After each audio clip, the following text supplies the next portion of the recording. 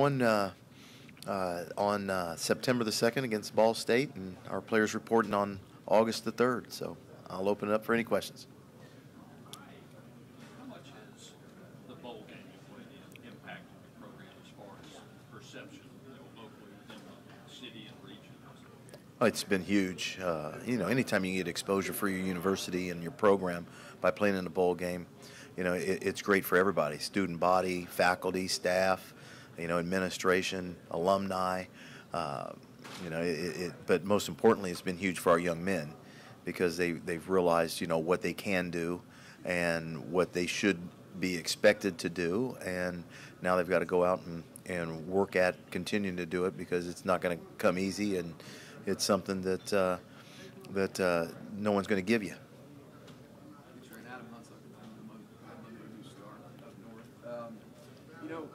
With the, kind of job Matt Viator has ahead of him, trying to rebuild that program at UL, and you come, your background is a uh, program rebuilder yourself and what you've been able to do as a head coach. And, you know, while every program is different, you know, at the Sun Belt level, what's the toughest thing about, you know, trying to get these programs up?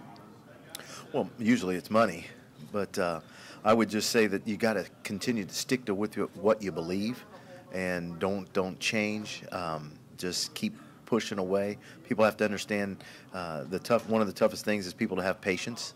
We live in a society where everybody wants it right now, and sometimes it's not that way.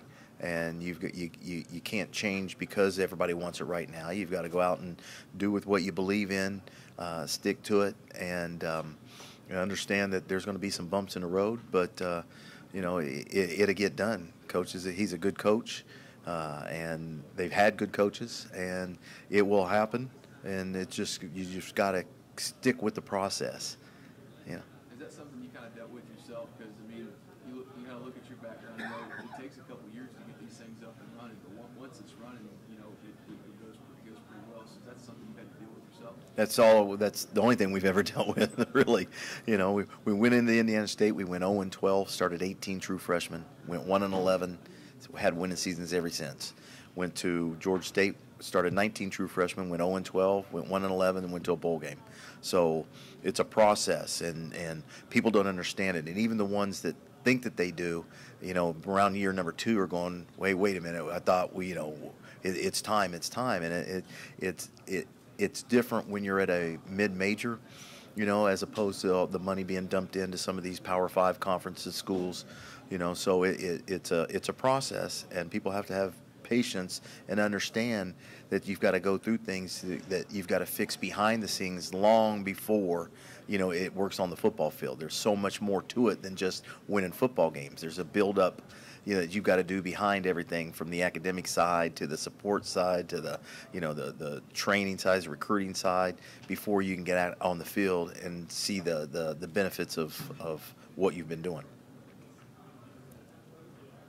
What was your stance on the championship? On the for us playing a championship game, I was all for it. You know, uh, I, I think it's the right thing. I think we, we made a, a smart decision, and uh, you know it, it's going to benefit us from exposure and, and you know that that weekend in December where we're playing a regular season game now that will be a championship game. So, you know, I, I think it's it can only benefit uh, the Sun Belt Conference as a whole. Commissioner talked about the possibility of divisions, obviously, and so forth. The- Almost like an east-west and so forth. Uh, Is that, is that sort of the concept that you're in favor of? And do you like the eight-team schedule, or would you rather play the, the nine-team and play everybody? Uh, I, I'm either way when it comes to that. You know, uh, I understand having divisions. You know, when you start talking uh, logistics financially of traveling, you know, and doing things, if you have them in two different divisions, I understand that also. You know, but I also understand in playing everybody. You know, so I'm fine with it either way. I, I'm a big proponent of having the championship game, but you know how they how we get to it, it's up to the the guys above me. Coach Miles, heading into this season, you're replacing several key people. Obviously, Nick Arbuckle being the most uh, notable, at least to, to the preseason press. How have you been doing in terms of getting those replacements in, in line for next season? Well, you know, a lot of the guys that we were repla- that are replacing starters have been with us. Um, as far as the quarterback position and replacing Nick Arbuckle. I don't know that you replaced Nick Arbuckle in the stats that he put up, but you we've got three young men that were all with us in the last season and through the through the uh, the spring and this summer. That uh, if they can just be the best that they can be, we'll be fine. And uh, you know, we, we're basically a three-man battle for the quarterback position between Amir Scaife, Aaron Winchester, and Conner Manning. And may the best man win, but uh, we're going to need all three of them. So, you know, I'm excited about all three of them, and I just need we as a team, as a program, just need them to be the best that they can be, and not worry about replacing Nick and being in Nick's shoes. Because to to go out there and think you're going to replace 4,300 yards, you know, throwing in in in one season, I, I don't know that that happens. So if they can just be the best that they can be, and we can run the football, we'll be fine.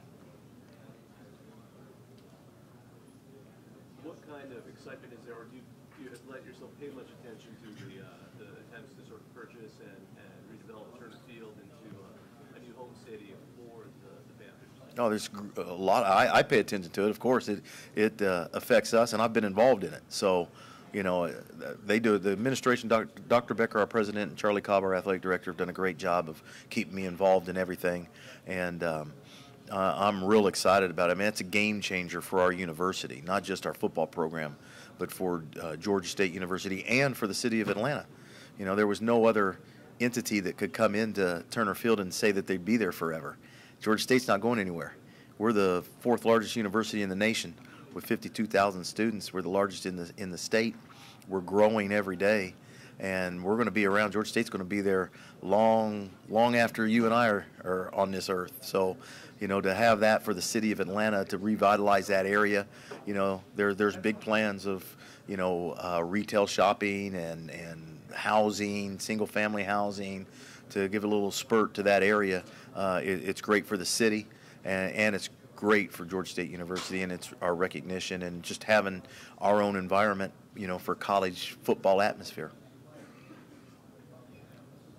You, you okay with the distance to campus, whatever? It's three blocks from my office. I can I can see I can see Turner Field from my parking lot, from the window in my office. I can see Turner Field, so it's really not any different. Yeah, so we're you know I'm I'm fine with it. I'm I'm more than fine with it. I'm ecstatic about it. You're, um, you're obviously it's a young program and you've been there for several years. How have you seen the growth in sort of the atmosphere around the program in terms of just fan support and, and alumni support that you've seen? I've seen more Georgia State shirts and hoodies than I've and stocking caps or whatever they call them nowadays, hats and I've seen more of those around Atlanta and the state of Georgia than I've ever seen since I've been there, and uh, it's just growing and growing, and people are realizing that uh, you know we're an excellent academic institution. And now all of a sudden, you've got a basketball team that goes to the NCAA tournament. You got a football team that went to a bowl game. Uh, I know baseball didn't have the season that they wanted to, but they'll be back because Greg Frady's done a great job there, and they'll play well in baseball. So you've got, you know, an athletic department that is is doing really good things under Dr. Becker and, and Charlie Cobb and the coaches at, uh, in the other sports. So, you know, Georgia State's exploding onto the scene, and in Atlanta, it, it, it's it's it's growing. I mean, we, we were at 32,000 students a year ago. Now we're at 52 you know so it's going to keep getting bigger and bigger and and you know, it, it's it's going to it's going to turn into something very special.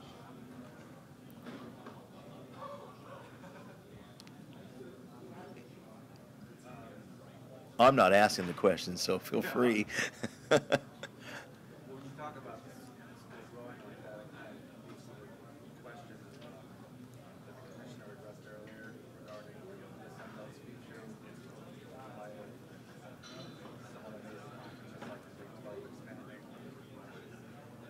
How, how do you, you see sustained stability with the Sun Belt in the future, or do you think that it's possible some schools might outgrow or Well, I, I think what you're going to see uh, in the next, like I don't know how many years ago was it? About five years ago, we had a big change of everybody jumping conferences and moving, and it's been a few years. 2013 was probably the big. Yeah, I think you're going to get one of those again. I think you're going to see that in the next so many years. You're going to see, you know, Big 12 expanding, and then someone's going to move here and there. So, you know, I, I don't, I can't tell you what's going to happen. You know, in college football, I know that Georgia State is going to line up and play Ball State, and we're going to represent the Sun Belt Conference uh, on September the second. But, you know, college football is with the college football playoff and and with the money. We all know it's all about you know aligning yourself with you know financially. So with the money that's out there for the college football playoff system, and and there's going to be more movement in the future. I don't know how that's going to affect the Sun Belt, but uh, I know it, it's somehow it's going to affect a lot of a lot of conferences.